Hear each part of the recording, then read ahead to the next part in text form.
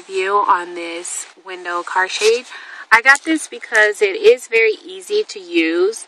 You do have three different ways that you can mount this up. Right now I have it clipped onto my window as you can see right there.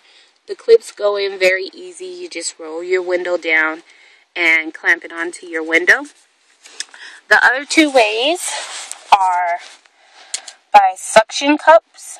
You just slide those onto the clip and then you can place it onto your window or you can use these sticker like tabs. Um, the most convenient way that I've found to use these is through the suction cups and through the clips. It's a lot more easier and quicker to get off and remove if you need to. This is very easy to use. You just pull down this tab and then you have shade instantly. And then when you're done using it, there's a little button on the side right here. You just press that and then it goes up.